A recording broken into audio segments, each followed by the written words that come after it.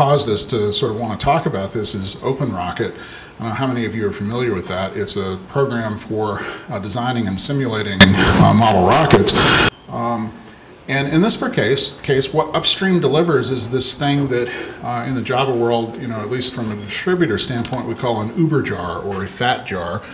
It's a jar file, which is a Java, you know, deliverable that happens to contain other jar files. And what we mean by that is that Or other binary artifacts or whatever. Right. So if they use the equivalent of, you know, six other class libraries, which in the C world would be, you know, other shared libraries or, or you know, libraries of functions, uh, they're actually sort of wrapping all of those up and delivering them those, so they can give you this one sort of blob that you download. And if you're on a Windows or Mac or Linux machine, you can just run that thing and all of the dependent stuff's there. In the C world, this is the equivalent of shipping a statically linked binary where every you know, library that you depend on, every piece of code you use, every data file is all sort of statically linked into one big binary blob. And one of the downsides to that is because it's all munched together, we don't know as a distro the provenance of each piece and how it's licensed. If it is licensed, if we have rights to redistribute it, if the parts can be legally combined together and stuff like that. So it ends up making a lot of extra work. Well, it's just it's just like if you were out on the net and you saw some you know executable file, you know you wouldn't go put that in Debian main, right? It violates the free software guidelines. It's, it's not clearly open source. We don't you know know where the source is. We don't have access to it. La la la la la la la. So you know, one of the things that, that we think about some in the context of an application like OpenRocket is, gee, how pedantic do we want to be about this? Do we really care about all those issues? Should we just write a cute little installer thing that downloads their latest mega jar and wraps it with, you know, the thing that gets dropped in user bin that, you know, calls java dash jar with the right path and, and does all that stuff? We could do that. That would be that would be easy from or what versions they were at or, or any of that sort of, or what licenses they have or any of that sort of stuff.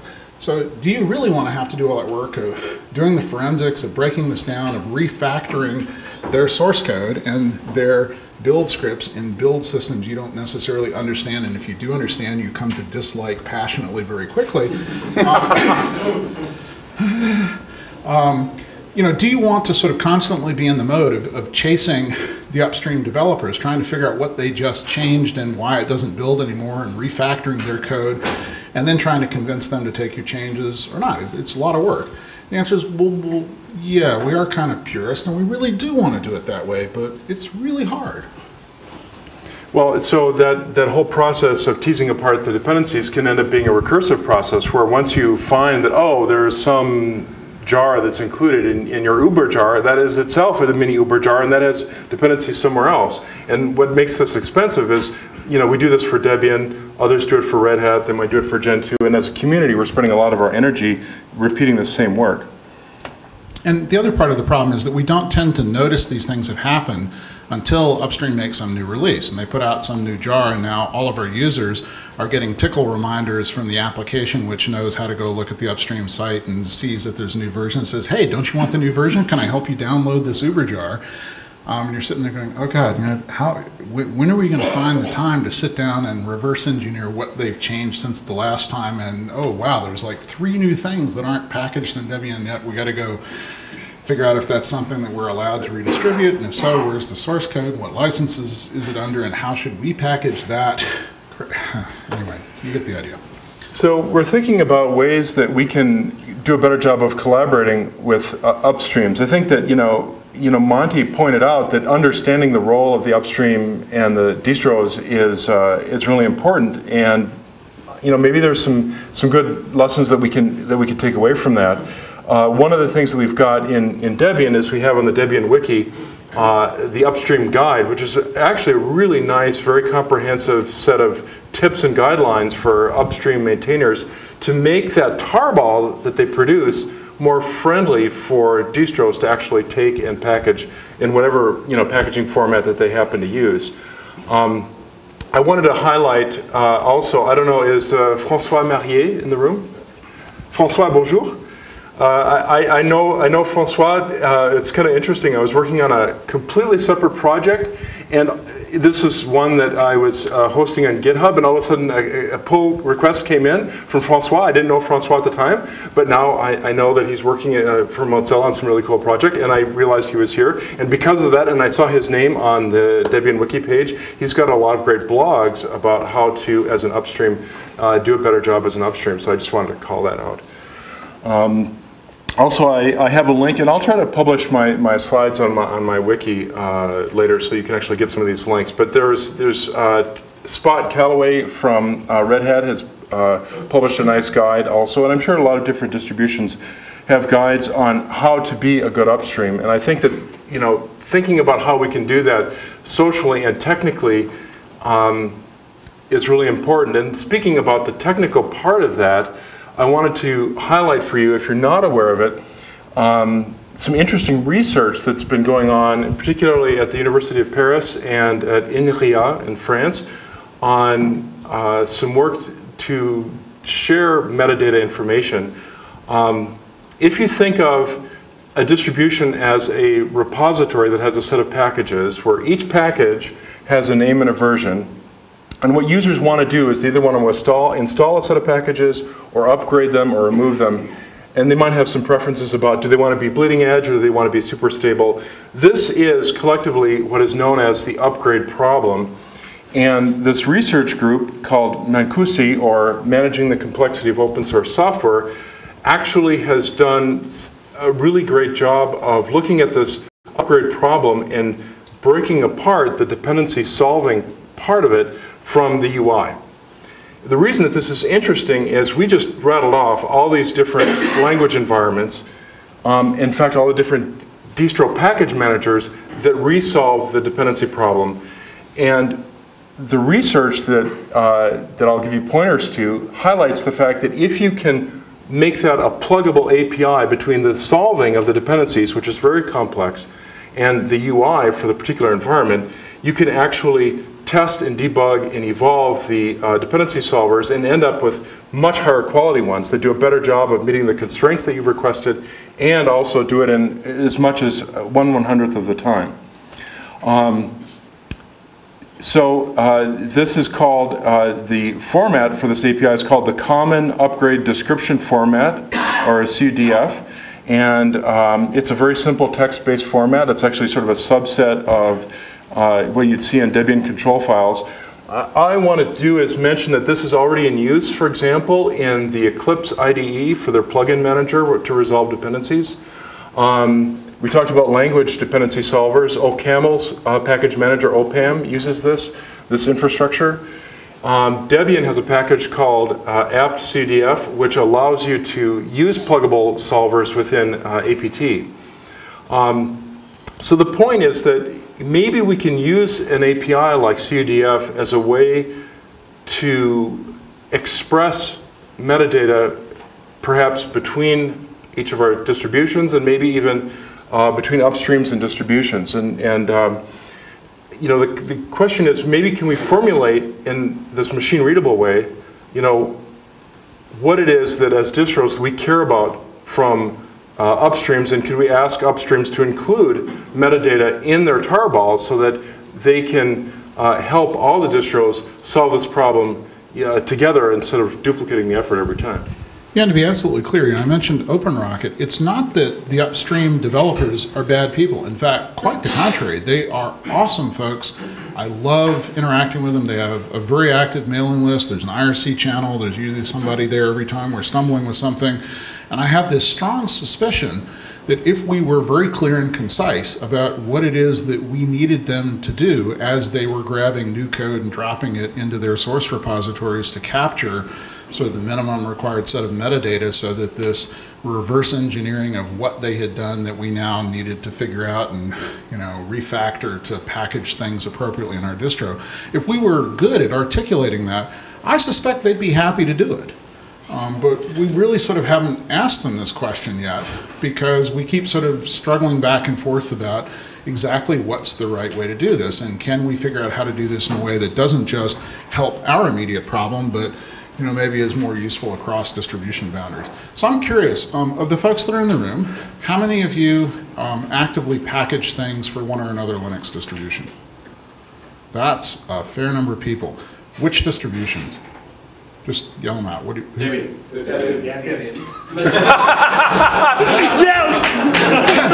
okay, so yeah, it is the universal operating system. It's the solution to all your problems. Anything other than Debian? The Gen PPAs.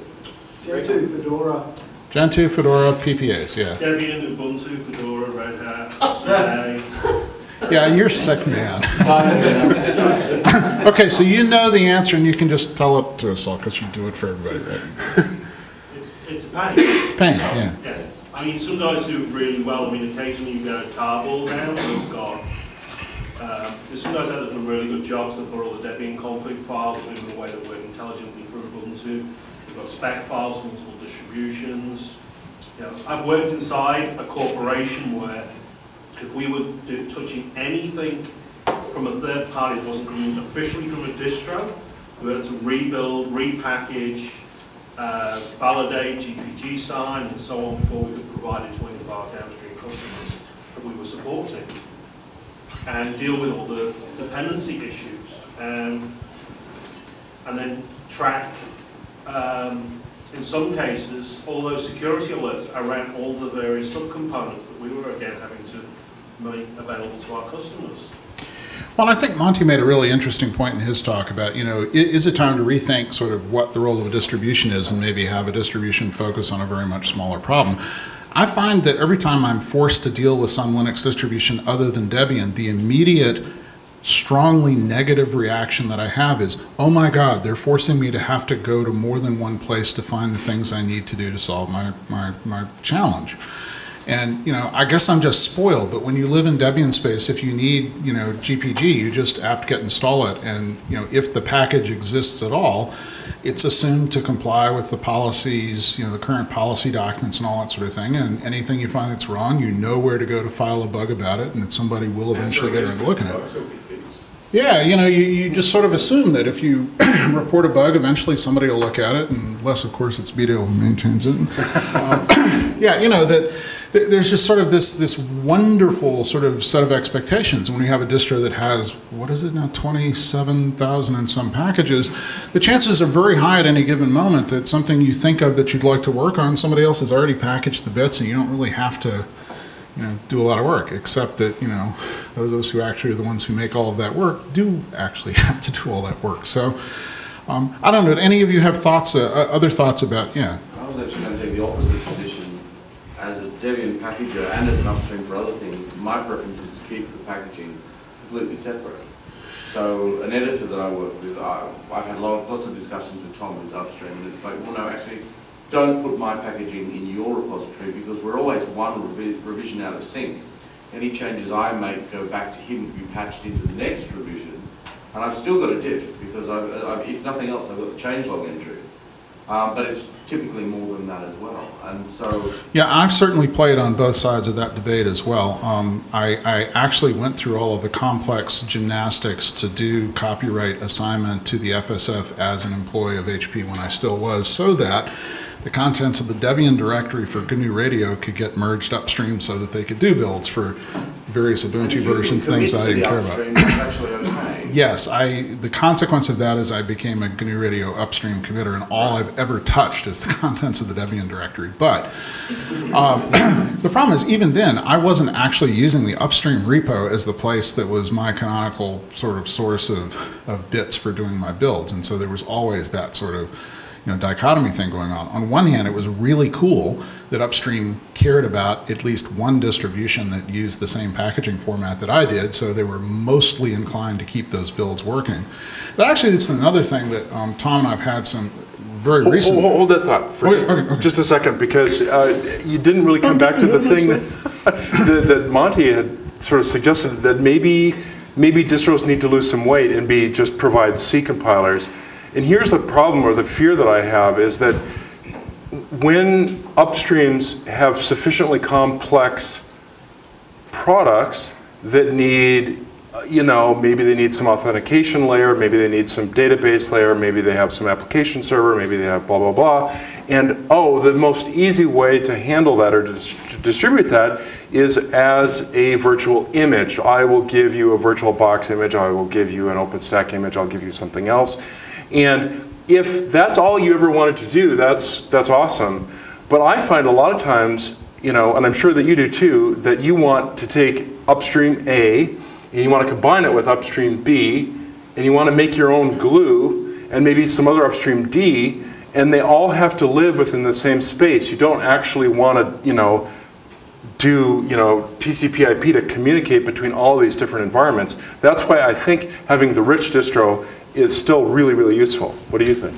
Well, yeah, and I've, we've certainly seen cases where um, upstreams or, you know, projects, OpenStack's a great example, where there's a lot of complexity. It, it could certainly be reasonable to think in terms of creating an installer image that has some kind of lightly derived version of a particular distro so that you have, you know, one deliverable product. And, and maybe it's important to you to be able to test everything in sort of a working live environment like that or something. I don't know.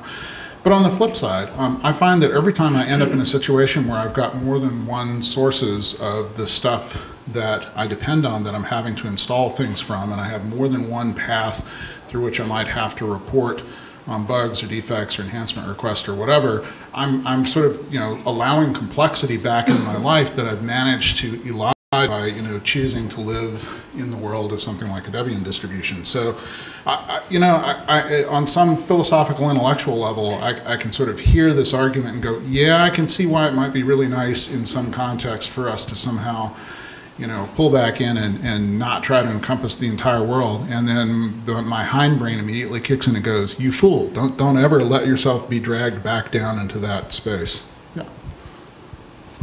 One way I think that we could uh, address this is to get upstream to both have infrastructure and developers that are interested in maintaining old versions, which are currently in stable distros.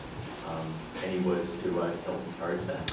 I think that's actually a great lead into the continuous integration stuff we've been playing with. Well, you know, part of part of the thought, and this is really, you know, we were just thinking, brainstorming about ways that we could have distros and, and upstreams collaborate better, and it, it seems like there's got to be an opportunity around continuous integration um, to check. I mean, a lot of you know what Monty was saying. You know, in in that case where you would do a commit and actually try to build packages from it, um, I would think has some advantages to flesh out dependency complex dependency graph issues early. Is it? Yeah, it's really expensive, but machine time is cheap. So after Tom showed up at this rocket launch last year and kind of got enthusiastic, he and his boys all got enthusiastic about you know, playing rocketry games with us, and we started trying to rope Tom into helping us deal with software. We of course went, oh, you know, Tom, he's got like Java next to his name somehow. He must want to help us work on the Android app for our new cool toys, right? Haven't managed to suck him into that yet. But what he sort of volunteered to do that I think Keith and I initially went, yeah, okay, fine, whatever. It doesn't seem important, but if he wants to do it, that's great. Was he put up a Jenkins instance and set it up so every time we do a, a you know push commit into our uh, you know sort of publicly visible Git repo, it tries to build the code. And oh my God, that's been the most wonderful thing that's ever happened because now Keith actually has a tight feedback loop every time he breaks something. Jenkins tells him. he gets a nasty gram. It, it used to be. it used to be that you know we'd go along developing and we'd be talking over IRC and we'd be coming up with new ideas and new features and making things work and testing stuff and we'd go back and forth for a very long time and we'd go to do a release. And part of the release process is I was actually trying to build, you know, objects that we'd be willing to hand to, you know, paying customers. And I'd stumble over all the stuff that he just sort of installed in his build environment over time as he was making things work. And I had to reverse engineer all these build dependencies and stuff.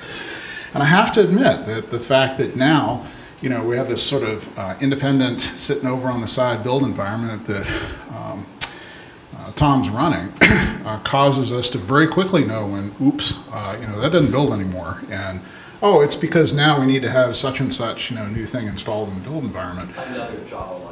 Yeah, another Java. Library. and so, you know, there's still you know, the, the one challenge is that the way it gets fixed right now is Tom goes and installs that particular No, thing. no, no. The way that this happens is Jenkins sends Keith a nastygram. Yes? Keith gets on IRC and he says, Tom, would you please install package foo? And then I go in and solve package foo, and then I poke Jenkins to retry, and then Jenkins says, awesome, we're happy. And then Bdale goes, yeah, but you didn't actually capture that in the Debian control file, so I'm stuck. So please, could we get Jenkins using something like git build package instead of doing this with just the source checkout and a, tr- anyway, we'll, we'll get there. but- That's the next step. Uh, It's, it's, it's really been very interesting to see, if we sort of think of Keith as being the primary upstream author of the software for the rocketry stuff, which is absolutely literally true. And, you know, Tom and I are acting as sort of the people trying to, you know, be the distributors and package it and all. Uh, we have discovered that, that having this sort of mutual uh, sort of interface through a Jenkins instance is really helpful.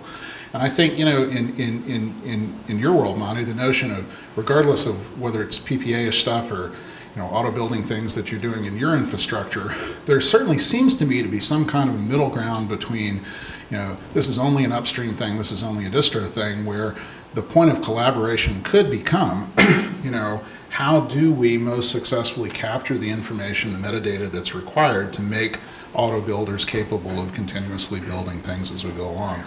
And just figuring out the right way to do that so it's not tied to a particular distro at a particular release level so much, but is, you know, capturing better metadata is probably a good way to do it. There's a thing called Stoke, which has been around for a while. There's some tooling that's been built up over time, and that is a description of a project. It's a language for describing projects, dependencies. I haven't run into that at all. Huh, dope. Ed, Edd Dumbill, Like DOAP or, DOAP. okay, cool. See, Um, coming back to the, this idea of this metadata that we have, this description that we use upstream and the distribution, really has got to be shared bidirectionally. Um, you know, we need that the common well-defined distribution releases, for example, particularly with the um, arrival of things like LTS releases and enterprise distributions, where we want some long-term stability, that there's a well-defined list of what those components are for upstream to develop against, Yeah, it's a, validate against. Because there's nothing worse than all of a sudden, there's a new, LTS has been out for nine months of a given release, and the new food doesn't work on it anymore, because Right. we've already moved that much further ahead. Right, eh, so just a second, the, the, uh, it makes me think that what we could do is uh, robotically extract the repository metadata from the distro and publish that in a raw format. Actually, uh, I know that as part of the E EDOS project, there's this site called Debian Weather that basically does this and checks to see if all the packages are installable at any given time. And if, and if they're not, then you get, you know, then the weather turns rainy. And if it's really broken, then it's thunderstorms and black and it's all bad. Yeah, you know, other folks have done things like try to automatically rebuild all the source packages in the archive and things like that. And, uh, you know, it's a good excuse to warm up your cluster once in a while. So you had a, Um, one problem I've had with the Samba project, we've just released Samba 4, and at the moment there aren't any good packages for Samba 4.0 of everything, something I talked about in sysadmin. We end up trying to tell our users what things they have to install, and the OS requirements page has become this for Debian, this for Ubuntu, most of this same, this for Fedora, this for Dell, this for, and the list is just getting endlessly long. And of course, if I change something, I've got to go and try and sort of put the right things in there, remove the things that, because it's a wiki page that users have put up. here. Yeah, of course. They might have needed or thought they needed just gets put in the line. And it's a real problem for us because trying to even maintain that for about 10 different operating systems, it's insane, but otherwise our users fail over the basic requirements and can't build their DC. So it's a real issue for us as an upstream as well as you know, getting the packages. So this is why I go back to this notion I commented on a few minutes ago, that I have a strong suspicion that most upstreams would happily do the little bit of extra overhead required to be helpful if we were just good in a cross distro. You know, if I go to them and say, you know, I'm a Debian guy, and in order to do this right in Debian, you need to do the following things for me, their answer is going to be, oh, God, now I'm going to have 12 other distros telling me what they need too. I suspect we went to them and said, hey, look, there's this well-understood boundary condition problem between, you know, what you as an upstream want to work on and what distributors and packagers of your software would, would like to work on. Um, you know, here's our cookbook for you, here's our, our, our recipe guide for you. Do these things in this kind of way, have this kind of a file somewhere in your source distribution that captures these little bits of metadata for us. I bet you most upstreams would actually be willing to do that.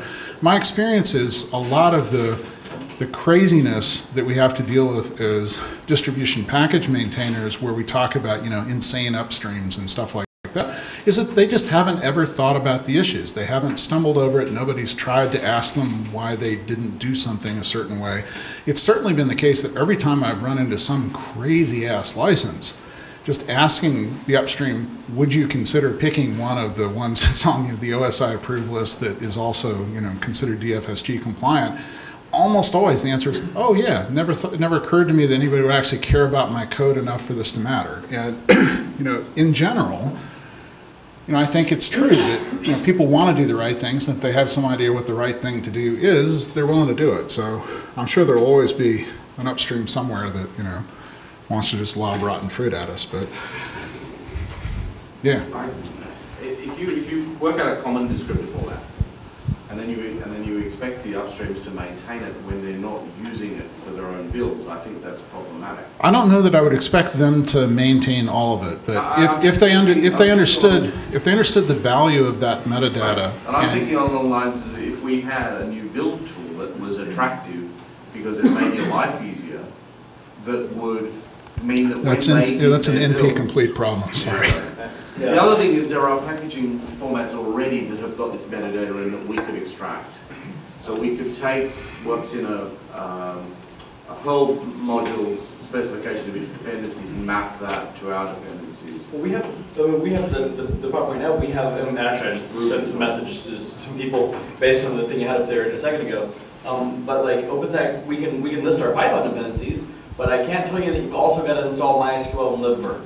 Because those are Debian packages or Fedora packages or Right. whatever, and how do I put, how do I express that in my Python project? I don't know. And Well, it gets- it's- it gets a little- README file right now, and that doesn't, you know. We all understand there's another element of complexity in that, you know, not only do distributions not always pick the same name for packages, but mm, di- one of the things that differentiates different Linux distributions is the granularity at which they package things. And in Debian, that was a very conscious set of decisions a long time ago that going with a finer granularity actually sort of makes lots of things work better. But it does sometimes make it harder if you're trying to manage this kind of information because, you know, uh, it does mean that sometimes the names get more complicated because it's not just, you know, blah. It's, you know, you need blah three something or other, whatever. So we've got about three minutes left. There's a question back here, and then there's Joey. I Where's, going in, in practice, this question, this problem's also not as bad as it might be in theory, in that upstreams for a long time have just had a README file that says, you know, you also need these other things, and at least this version. And sure, that's not machine readable, but, you know, it's there, and it's actually not that big a deal to translate that into your local, when you're the maintainer. And also, this work doesn't get redone for all the different distros, because the maintainer if they're aware of it, if they're thinking about it, will go look at how the Red Hat guys package it, how the whatever guys package it, and you'll swap patches and you'll swap in and you'll see, oh, they had to do that patch in order to change the install directory. Even better, the administrator can tell the, the upstream, this is what you need to put in that section for us. I, I will admit the thing that Our- really. Packages and our versions. Yeah, the thing that really started pushing my buttons on this was starting to deal with, you know, Java developers' Uber jars and the fact that now all of a sudden, here's a language environment that I'm not personally terribly skilled at. I understand why it's the right thing for us to be doing our Rocketry ground station software because we have Windows and Mac users as customers and we really can do a single source tree and build installers on Debian for all of those environments and they work. But when you have upstreams who have never even thought about the fact that there might be a problem with incorporating all of this stuff, they actually think it's a huge benefit because now the Windows But- folks just, Now that you have done that, Yeah. Red Hat packager of can, can gain from that. Yeah. If you find a Debian package. I just wish somebody at Red Hat would package OpenRocket so I could borrow their, Right, right. So Sorry, sorry, sorry. first go to the package? yeah, yeah, some of this is first packager syndrome, you're absolutely right. Joey? Um, Trying to pull some of this together, it seems to me that one way you could bootstrap something like this is if you had a tool that users could use that would, um, say, solve the problem that Samba has that I also have of installing the dependencies so they can actually build the, build your software, they have the tarball. Um, If, if there was a tool and it just said, okay, you know, I, I need these things, and I had to go out to the distribution to get the actual package mapping, you know, split up in Debian and so on, so there'd be a source of data in the distribution, source of data in the tarballs of whatever projects feel like participating in this, and then a tool that users actually use, so they're actually driving the upstream projects and the distribution. This is sort of like a step before AutoConf that would go get the build depends? Yeah, so just something to get little dependencies, skip the building because that's a hard problem, and Yeah. it's easy to say type Map make. a canonical name to a. Yeah, exactly, you have to have it in the distribution and in the upstream project, What about package con? .pc files go somewhere towards them, mm-hmm. don't they? but they're not, they're all platforms, no, don't- Haskell, Don't, don't get me started yelling about package conf too, that's a whole other kind So you real could potentially have configure talk to an upstream like the, because you go looking for a library, it doesn't find the library, it can actually feed back and say, you need to install the lib foo dev package on Debian and on Red Hat it might say something different. So, so, yeah, so we're, we're, we're kind of running out of time. I, want to, I want to sort of thank all of you for being here. I think we've done what we hope to do, which is we've got folks thinking about some of these issues, some as evidenced by the fact that a bunch of you are jumping in and starting to think about, you know, how might we solve this problem. So I feel really good about the effort that I convinced Tom to make to actually put this, because I just showed up. But, so, thanks, Tom. It's Tom's first time at LCA. He's got another talk later. Tomorrow. Tomorrow, actually, yeah. So, and that's on, Clojure. on Clojure, yes. A very interesting topic in and of itself. And before we let everybody go, I want to send out a special thanks to Stefano Zacchiroli, who is the current uh, Debian project leader, because he gave me a lot of good ideas and pointers on uh, CUDF uh, and this whole dependency problem. And what I'll do is I'll, I'll publish these slides that you didn't see and these other links. Um, Probably the easiest way to communicate that to you is uh, follow my uh, address on Twitter or Identi.ca at tmarble, and I'll, I'll microblog pointers there. Okay, great. Any last things before we wrap up? Excellent, cool. Thank you so much for your time and attention.